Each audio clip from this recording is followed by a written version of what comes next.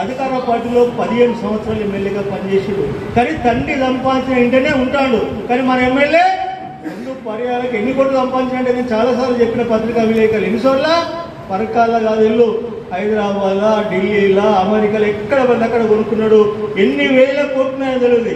ఎన్ని వేల ఎకరాలు ఆయనకి తెలియదు. రాబోయే రోజుల్లో ఎంక్వైరీ చేస్తే ఈ యొక్క కాంగ్రెస్ పార్టీ ఎంక్వైరీ చేస్తే అప్పుడు బినామీలతో సహా బయటికి వెళ్తారు సందర్భంగా తెలుస్తారు. నేను తెలియజేస్తున్నా.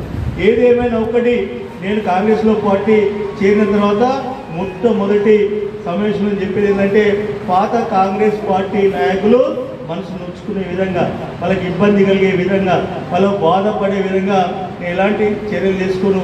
నేను చేసేంత పార్టీని బలోపేతం చేయడానికి పార్టీ ఎవరికి టికెట్ ఇచ్చినా కూడా అంటే పార్లమెంటు అభ్యర్థి కావచ్చు కింద సర్పంచ్ కావచ్చు పరకాల కౌన్సిల్ కావచ్చు వాళ్ళని గెలిపించడమే పలువురు భిక్షపత్రినటువంటి ఒక ప్రథమ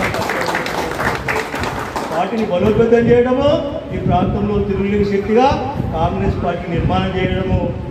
పార్లమెంటు ఉన్నటువంటి మిగతా ఏడు అసెంబ్లీ సెగ్మెంట్ల కన్నా పరకాల కాన్స్టిట్యున్సీలో కాంగ్రెస్ పార్టీ పార్లమెంట్ అభ్యర్థికి అత్యధిక ఓట్లు తీసుకురావడమే నా ముందు నా ప్రథమ కర్తవ్యం సందర్భంగా తెలియస్తూ నన్ను ఆహ్వానించి నాకు స్వాగతం పలికి ఈరోజు నా యొక్క కార్యక్రమంలో పాల్గొని నేను పార్టీలో చేర్చుకున్న కాంగ్రెస్ పార్టీ కార్యకర్తలకు నాయకులకు అందరికీ పేరు పేరున మనస్ఫూర్తిగా నా యొక్క నమస్కారాలు తెలుసుకు తెలియజేసుకుంటూ కాంగ్రెస్ పార్టీ నాయకత్వం వర్దీలా అని చెప్పి మరొకసారి కోరుకుంటూ సెలవు తీసుకుంటున్నాను